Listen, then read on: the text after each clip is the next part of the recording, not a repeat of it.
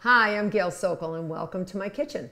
Today we're going to be making a chocolate cherry walnut rugelach.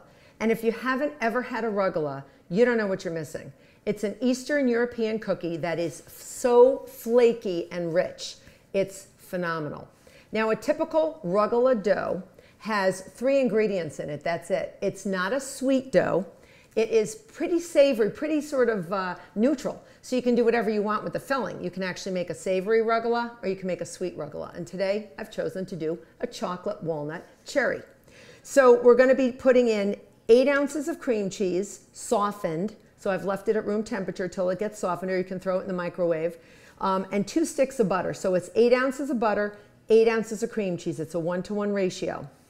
The butter and the cream cheese should be really soft. All right, so we're going to put that into our electric mixer. And I'm going to not add our flour yet. You're going to add two cups of flour, but right now we want to get the butter and the cream cheese blended pretty well.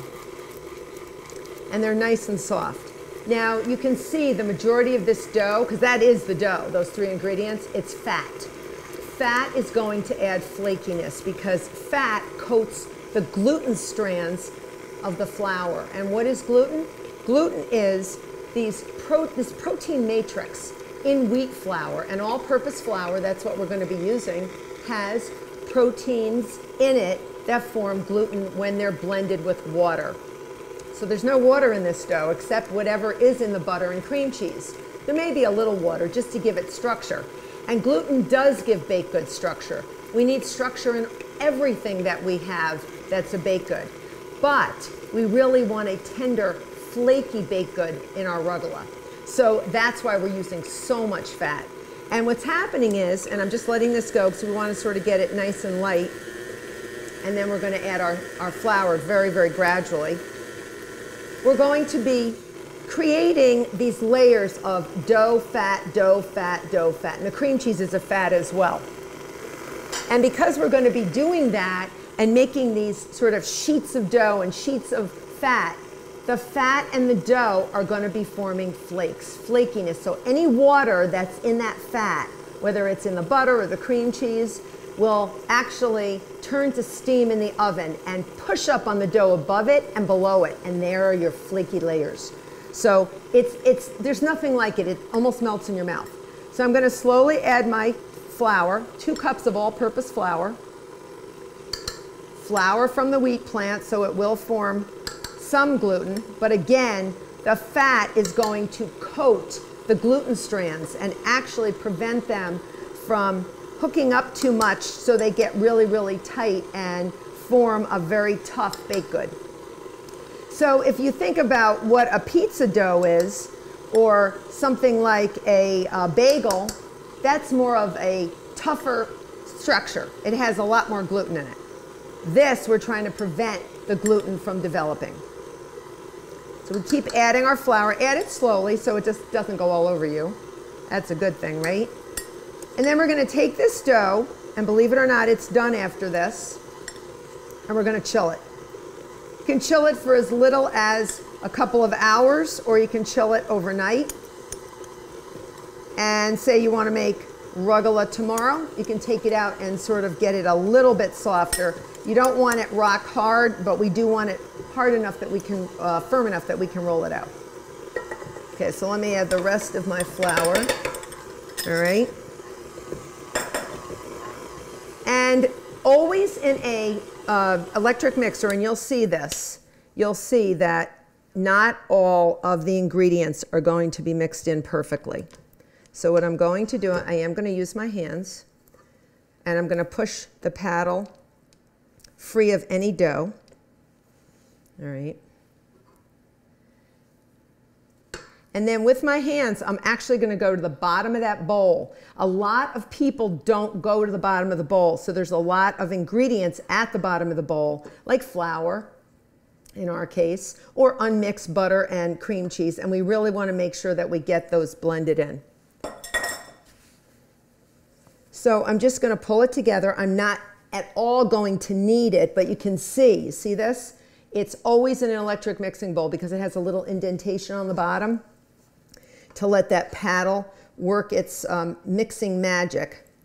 So I'm just going to go around and gather, almost like the dough is a sponge and I'm sort of picking up crumbs. And I just want to rotate the dough top to bottom so I can pick up all those crumbs. Don't leave them because that's part of your dough and that's good ingredients, right? Right there. So we're just going to get that going. And I'm really not kneading it. I'm actually treating it pretty gently. Another thing that you do when you rest a dough or you give it sort of a refrigerator break, if you will, is sort of um, give it a rest and that will also relax any gluten that did form because mixing also develops gluten. So that rest in the refrigerator will help the dough get a little firmer and will also relax that gluten because we want a tender and flaky rugelach. I lost a little dough there, so I'm going to pick that up. So now I'm going to detach my bowl, come over here, and I'm going to put this in a piece of plastic wrap. Simple as that. I'm going to wrap the plastic wrap around it, sort of like you would put a baby in for a nap, sort of like swaddle it real, real tight. And this is a secret that I love to tell people because it really helps. Push it down and shape it into what you want it to be ultimately. And we want a rectangle. So try to get it into a squarish shape right now. That'll make shaping a lot easier when you're ready to go. So I'm going to put this in the refrigerator and I'll see you back for shaping.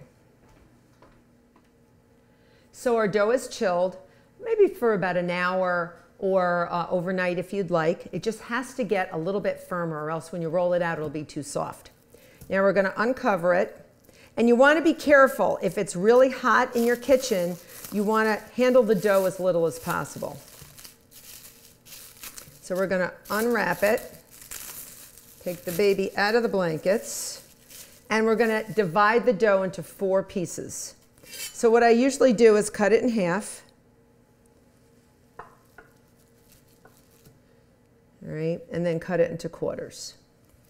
So you have four relatively equal pieces. I'm going to take three of those pieces of dough and I'm going to set them aside. If they are soft, put them right back in the fridge. And if you have to, do what I do. You can throw them in the freezer for a few minutes. Just don't forget about them. Or you'll have frozen rugelach dough, which is, you can just make it later.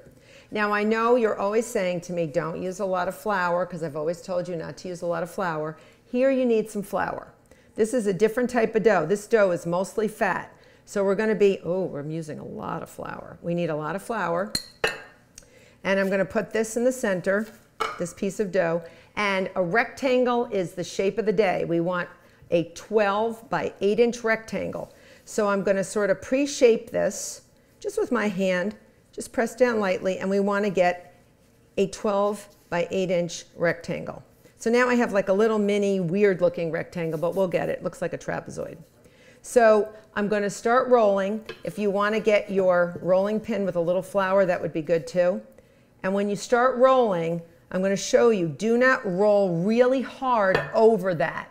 If you do over the edge, you'll actually squeeze your dough uh, and it will actually get very, very thin on those edges. So I'm going to keep going and I'm going to rotate. I want to always make sure I can roll my dough uh, in every direction and it doesn't stick. Now I'm going to rotate it 90 degrees. And you notice it's squaring off, which is what I want. So on the, I roll a little to the right, which is your left, and then I'm really, uh, rolling a little to the right, and then in the middle. And that will sort of square it off. I have a ruler. You want a ruler, you don't want to just estimate. And it doesn't have to be perfect, you just want it to be as perfect as humanly possible. So again, we're going for 12 inches. This is a, a ruler that's 12 inches, and we're going by 8. And I think we already have the 8.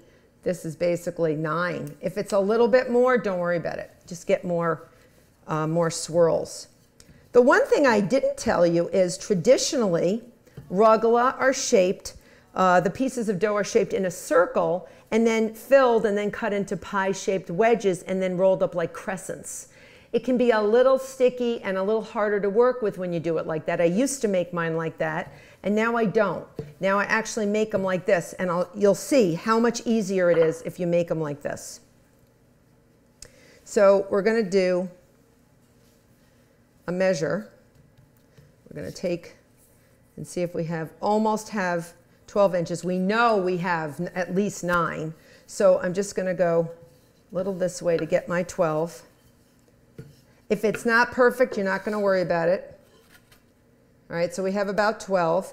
I'm going to gently take this piece of dough, and you're not going to rip it, and you're gently going to put it onto a sheet pan that's covered with wax paper. Wax paper is the easiest. Just gently bring it over. All right, just bring it over. And this dough is going to really fall apart on you. Don't overhandle. Don't overhandle. All right, do it again. Do it again. 12 by 8. Again, make that, show the dough what shape it should be in. Give it a little guide. So this is it. We want a rectangle-ish square just to give it an idea. We don't want a circle. We don't want the state of Texas. We want 12 by 8 inch rectangle. So I'm going to go one way. We're going to make sure we can always move it along. And I'm not rolling over the edge like I told you I would not. We're almost at 12. We're almost there. All right, so now since I'm almost at 12, I'm gonna go this way. Try not to roll sideways. I did a little bit for the first piece of dough. Try not to, it's harder to get a perfect uh, rectangle this way.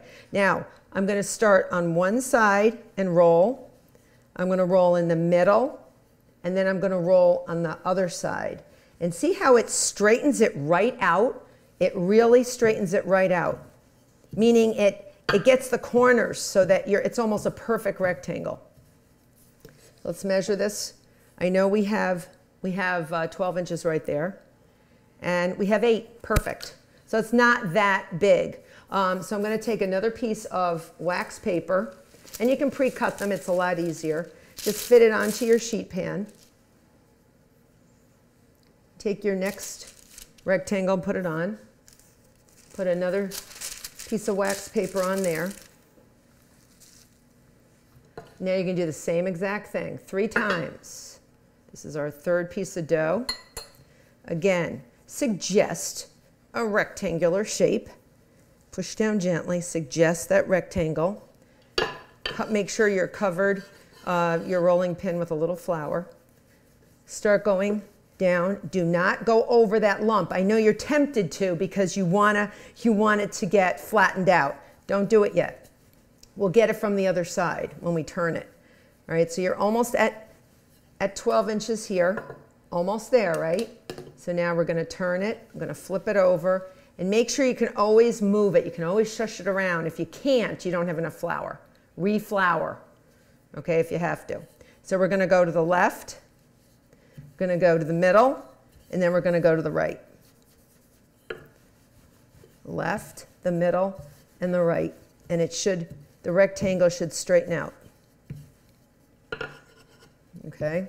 You're in charge of your dough. Don't say, well, my dough sort of, it formed the state of Texas. I don't know what happened. Well, you're in charge of your dough, right?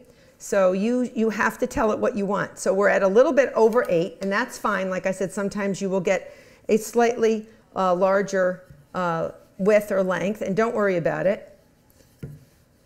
We're not, we're just a little under 12. We're trying to get about four dozen rugula, right? About four dozen rugula, and that, that would be really, really great. All right, so we're a little over eight, and then again, look what I'm doing. You can sort of sort of pat down, you get more rectangle uh, shape that way if you, if you go off course. 12, by just about eight. Okay, putting it down. Okay, last piece.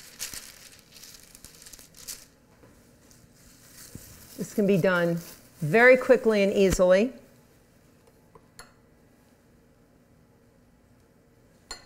Okay, here we go. Rectangle, shape it, shape it, work it, show it who's boss in a gentle way.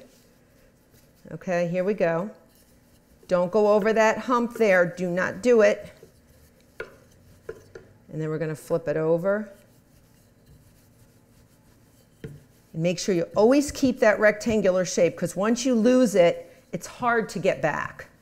Trust me, it's hard to get back. So we have more of a square, so I'm going to flip it. And I can move it always. Now I'm going a little to the left, a little in the middle, and a little to the right. And I think we're almost at almost at a foot. Okay. And I like this French rolling pin. If you notice, it doesn't have uh, the handles to it. It sort of tapers. Those are my favorites, so that's what I use. But you can use any type of rolling pin you want. We're still not at eight, so I'm going to gently flip it over. You have to be gentle with this dough. Don't, don't be hard with this dough. Be gentle. It's loaded with fat. And once those gluten strands are coated, it's very tender. It's going to break. All right. Are we at eight? We're a little bit above, above eight, but we're definitely at 12, so we're good. So what I'm gonna do now is cover that with plastic wrap, the whole thing, so it doesn't dry out. And I'm gonna put it in the fridge for about an hour just to keep the dough from getting too soft. As our dough is chilling, it's time to make our ganache filling. And we have to let it cool down first. So what we're going to do is in a pot, we're going to heat one cup of heavy cream, and that's what ganache is. It's cream and chocolate. And sometimes there's little accoutrements added, uh, like butter or sugar or liqueurs uh, or other flavorings, but we don't need this today. We are just making a very simple filling. We're gonna bring this heavy cream to a simmer. Uh, sometimes I even let it go to a boil. What you do wanna do is watch it. You never want to walk away because cream can overflow very quickly. It's got water in it, and once it hits the boiling point, it's just going to pop that uh, fatty cream out of the pan. So you're going to watch, it's actually going to uh, heat up very, very quickly. Once it comes to a simmer and you see little bubbles around the edges, that's known as simmering. If you go further, that's boiling when you see the bubbles all over.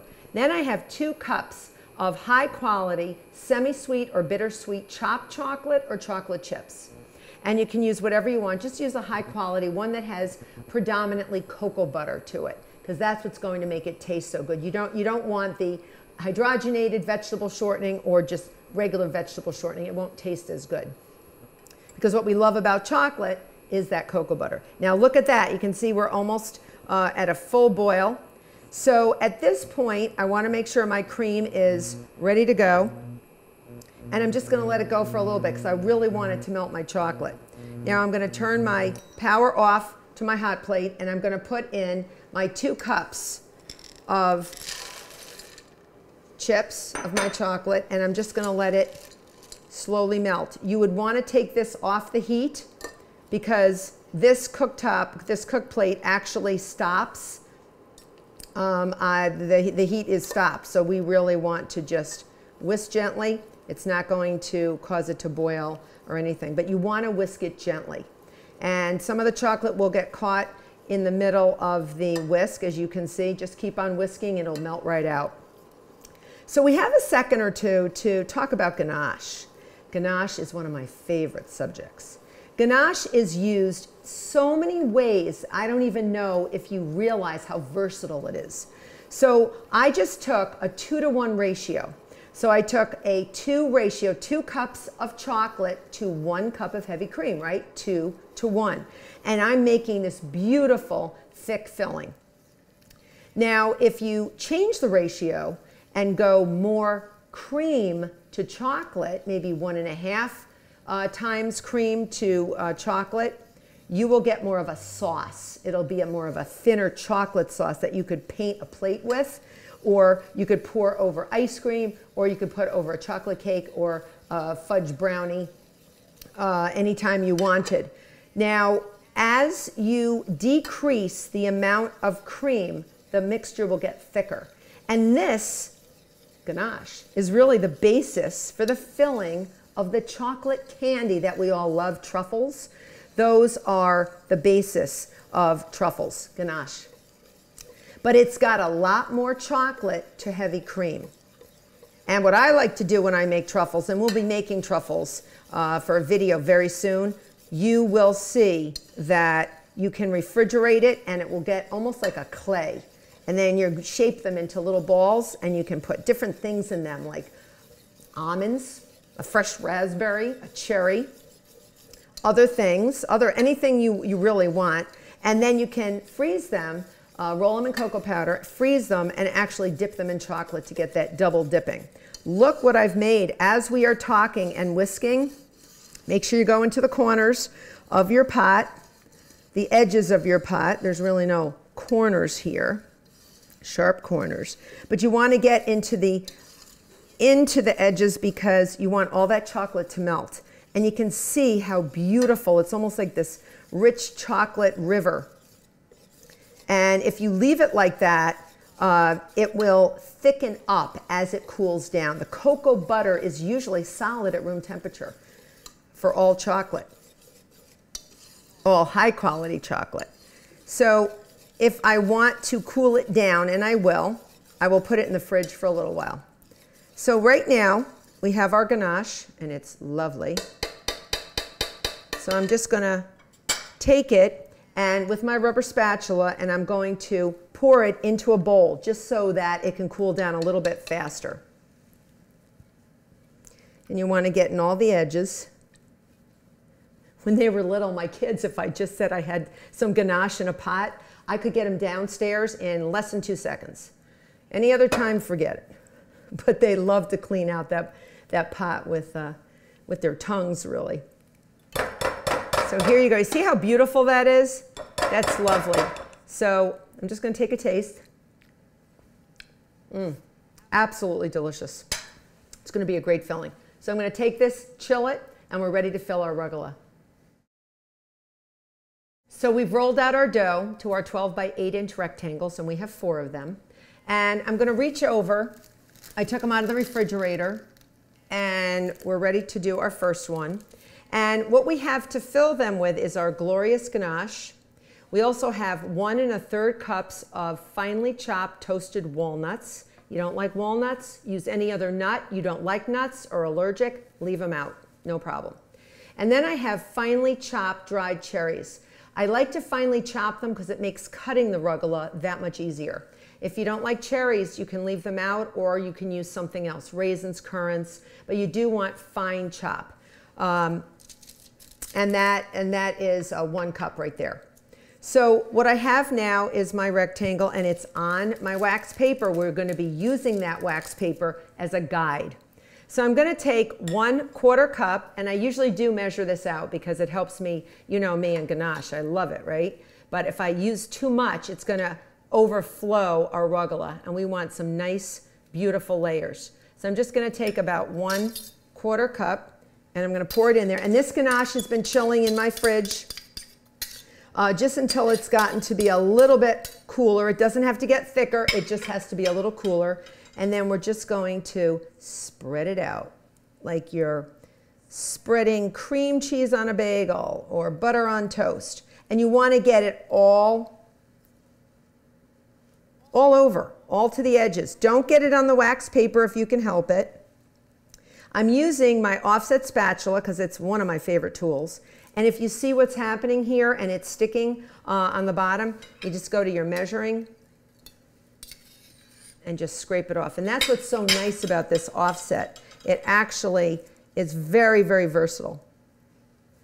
So I'm just going to go around, all around to the edges because every layer should have a little ganache in it. So go all the way up to the edges. And definitely take your time doing this. Don't, don't rush it. There is no rush. If your dough does get super soft, just take this whole thing, put it on a sheet pan, and put it back in the fridge. And you'll be fine. All right, just don't panic. It's happening again. I'm building up my ganache, so I just want to get that off of there. And then I'm spreading. All right, so I basically have covered everything. And if you rip the dough, don't worry because it'll be covered because we're rolling it up. So now I'm going to take a third of a cup. Remember, we have one and a third cups of finely chopped toasted walnuts. I'm just going to take um, one third cup. So div I've divided that one and a third cups into quarters. And just scatter everywhere. Just scatter your walnuts wherever you go on the dough. And just do it as evenly as possible. And then I'm going to take um, about a quarter of these. Just, I'm just going to hand uh, estimate. And they will stick together. These little guys really stick together, especially when you cut them uh, open. They have sticky, sticky insides, the cherries. So you want to make sure you be careful with them and just scatter them around. If anybody comes outside the dough, put them back in.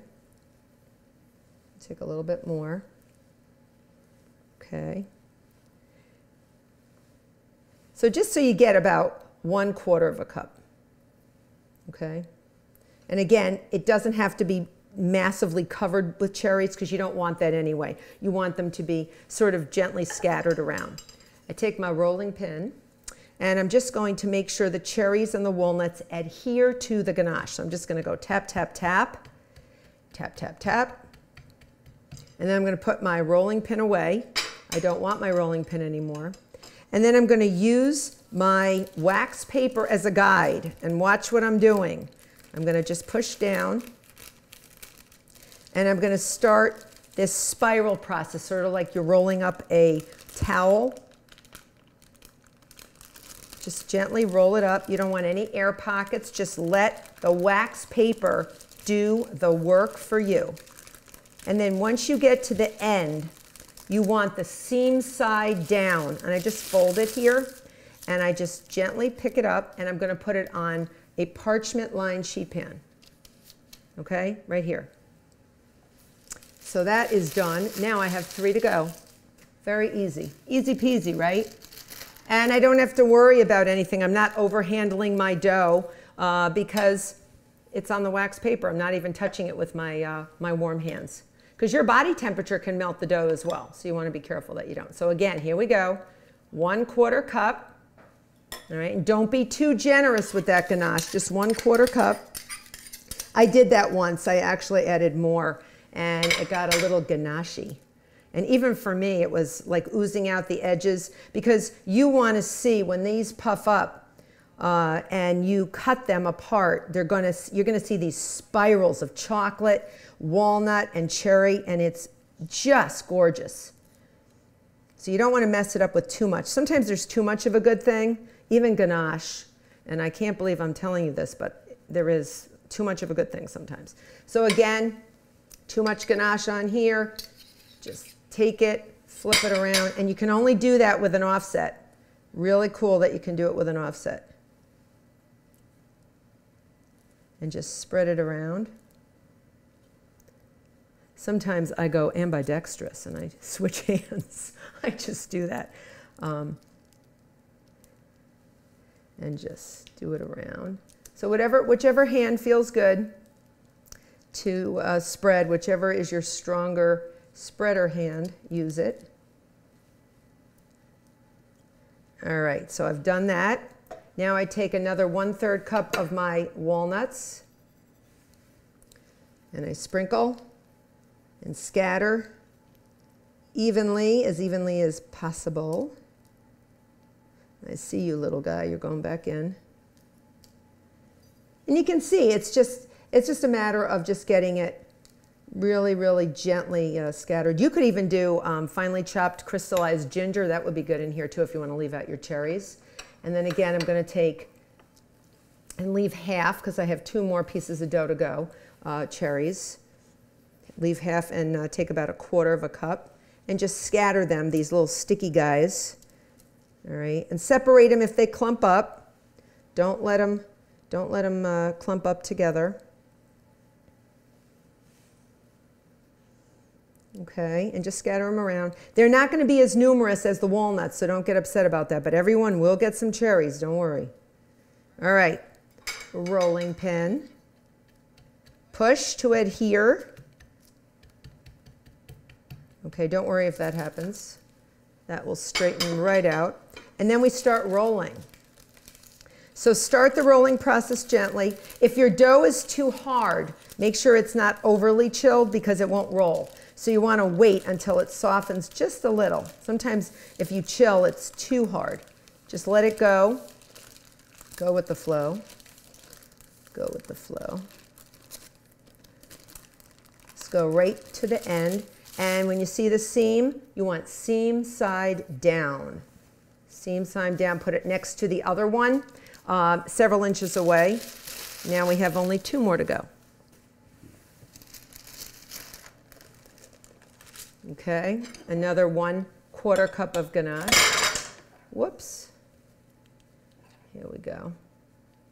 And you may have some ganache left over. Again, I always um, make my recipe so you do have a little ganache left over. Put it in an airtight container.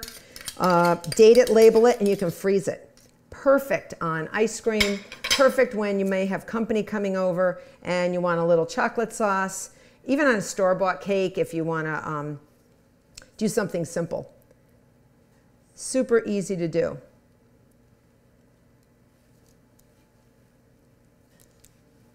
Also stays nicely in the fridge. Should keep about two or three months in the freezer, even minimum. Just don't forget about it. No one should forget about ganache. Too good. All right. Okay. Okay. I got a lot there, so I'm not going to add any more. And now I do my one third of walnuts. Sprinkle, sprinkle, sprinkle. I think I slightly over ganached. Hopefully it'll be okay. I think it will. I'm not going to worry about over ganaching. And then I'm going to take half of these cherries, right, about a quarter of a cup. Sprinkle, ooh, big clump. Separate that clump, all right. Chopping cherries is lots of fun. You can do it in the food processor, but you can also take an oiled knife on a cutting board or just spray the knife with nonstick cooking spray and just slowly take a small amount of uh, cherries at a time and then gently uh, cut them. They're a little hard because they're so sticky. All right. Now we're going to adhere. Okay. And then we're going to roll. So start the rolling. You really want to get a tight roll. You want to get as many as many layers as possible. That's your goal. As many layers of ganache, cherries, and walnuts as possible. And then remember that dough is very flaky, and you're going to see that. Okay, see that? Now we're going to go to a second sheet pan, seam side down. One more to go, and then we're ready. Ready for some rugelach. Okay, last one.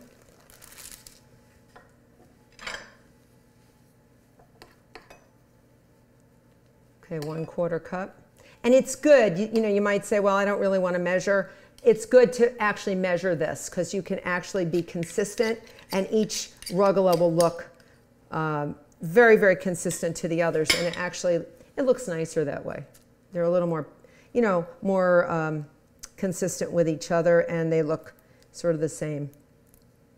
I always like things to look the same so that nobody says, well, I got a larger rugelach than you and cutting them so unevenly. So make sure you do try to be consistent. All right. Spread. This is our last hurrah. This is our last amount. Okay, we're going to do the old swipe our offset so we can get the rest of this covered. Again, I'm not adding any more because I don't want to overfill. This looks pretty good already.